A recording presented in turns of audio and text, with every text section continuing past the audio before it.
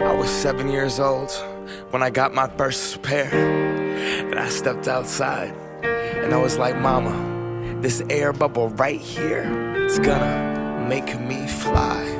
I hit that court, and when I jumped, I jumped. I swear I got so high.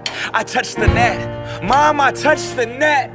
This is the best day of my life. Air Maxes were next. That air bubble, that mesh, the box, the smell, the stuffing, the tread at school. I was so cool, I knew that I couldn't increase them. My friends couldn't afford them. Four stripes on their Adidas. On the court, I wasn't the best, but my kicks were like the pros. Yo, I stick out my tongue so everyone could see that logo. Nike Air Flight book bag was so dope.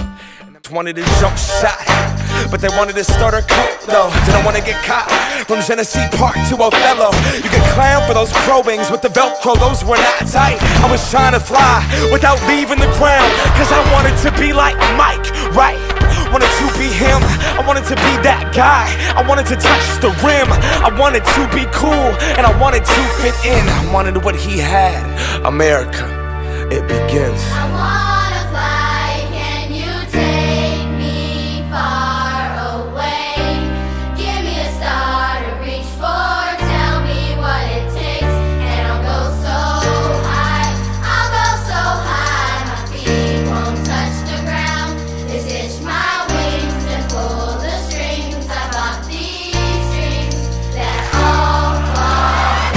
Want what we can't have. The commodity makes us want it. So expensive, damn. I just got to flaunt it, got to show 'em. So exclusive, this, that new shit. A hundred dollars for a pair of shoes. I would never hoop in. Look at me, look at me. I'm a cool